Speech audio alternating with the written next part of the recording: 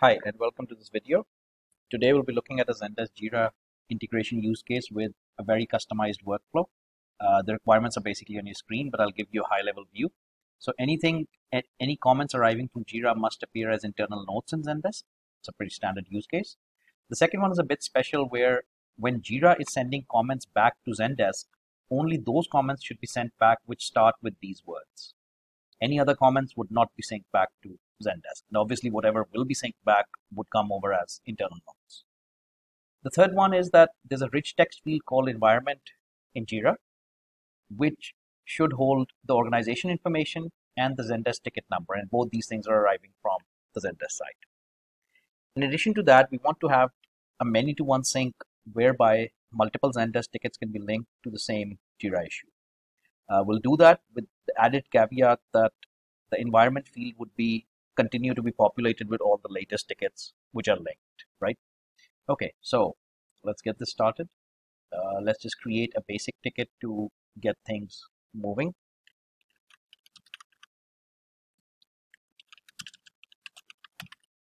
And on this basic ticket, all I want to check is uh, the comments behavior, right? Whether the correct comments are arriving and uh, the transactions are going both ways. So I'll escalate this over to uh, the Jira end. Just give it a few seconds to sync over. Right, we got our ticket. And there won't be anything special right now. It's just a normal ticket. The only thing is that the ORG information, Idelco and the ticket number 1291, these are the two things which are coming over from out here, right? You can bring any field if you want, but this, this was the specific requirement. Right, now, to test the comment behavior, so I've made a comment one. I'll make a comment two. And just for good measure, I will make a comment three.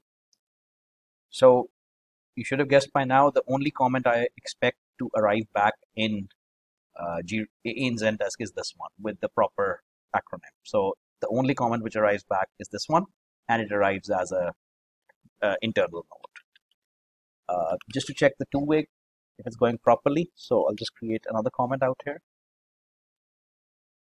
And this should reflect back on Jira pretty normally. So that's a little bit of comment customization that uh, we did. Now let's move to our main use case, which is uh, to do with the many to one, uh, sorry, the many to one syncing from Zendesk to Jira. Just waiting for my comment. Just give it a second. Cool. So there's my comment four and everything looks in order.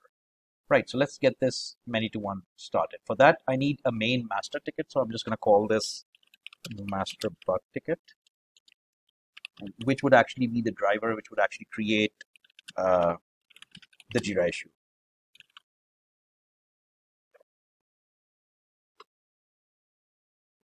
And I'm going to use the same connection so that all the rules that we spoke about earlier, they're all still applicable. So let's just escalate it again and give it a few seconds. Right, so it's synchronized to 286. And yeah, the usual information has come over and the comments behavior would be exactly the same. But that's not what we're looking for out here. What we're looking for out here is to create a child ticket and link it to exactly the same bug. So for that, you would need to populate the bug number in any field within Zendesk. I've used the Jira ticket field.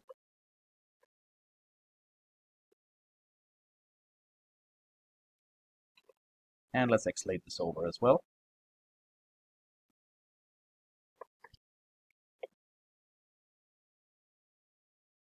Right, as expected, this would have gone and linked up to CM286. That's fine. If we uh, refresh CM286, it should have uh, the new ticket information appended to the environment field, right?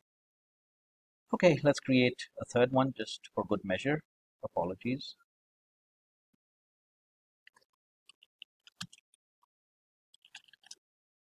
And let's place the Jira ticket number there again. So again, once we escalate it, you get the idea. It would link up to the same uh, Jira bug, the main issue which we created earlier.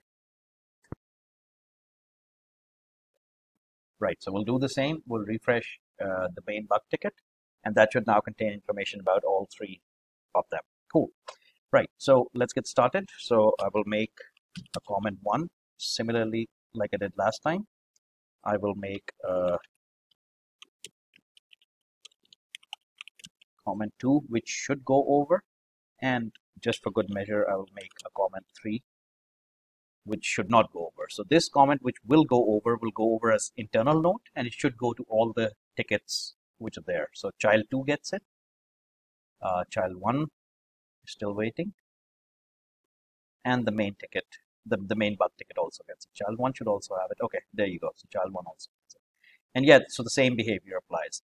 Now, any updates going from this side to that side would uh, be fine. So any uh, comments you make would appear as public on the issue. Lastly, you can just change the Jira issue to in progress. And how I've set this up is that the Zendesk tickets would change to pending. But again, the thing is that all three of them, all the linked issues will change back to pending.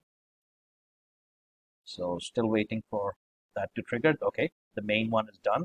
Uh, child, one is still waiting. Child two is done. And child one is done as well. And yeah, this continues. Uh, so if it, if it goes to done out here, I think uh, how I programmed this is to be solved in Zendesk. Uh, right. So I hope you enjoyed the use case. I'll attach the code snippets of how this is done uh, with the video. So thank you very much for watching. And hope you enjoyed it. Bye-bye.